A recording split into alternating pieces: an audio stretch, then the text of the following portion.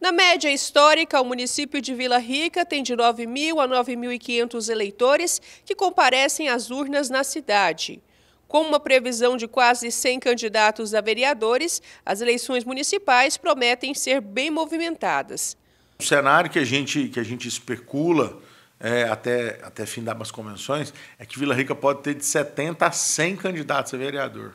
Então, num, é num mundo onde um cenário onde a gente tem 9 mil votos, 9.500 votos é, historicamente computados, então serão muitas pessoas e muitos nomes disputando o eleitor.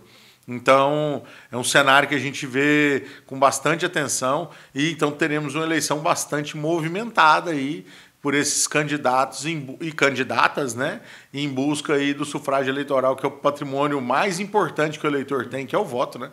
Então, é como a gente falou é, agora mais cedo, o mais importante é, é são eleições limpas, né? E o eleitor entender que o maior patrimônio dele não se vende, não se compra, é, é um desejo dele e que será transferido na hora da votação de forma sigilosa, onde ninguém não e nunca poderá saber em quem efetivamente esse eleitor votou. Então, é, a gente espera eleições limpas e passar bastante tranquilidade aí ao eleitor para que expresse a sua vontade, né, que é o voto, é, na, forma que, qual, na forma que melhor lhe convier. Né? Então, vote em quem ele achar realmente que represente os interesses dele ou os interesses do que ele acredita.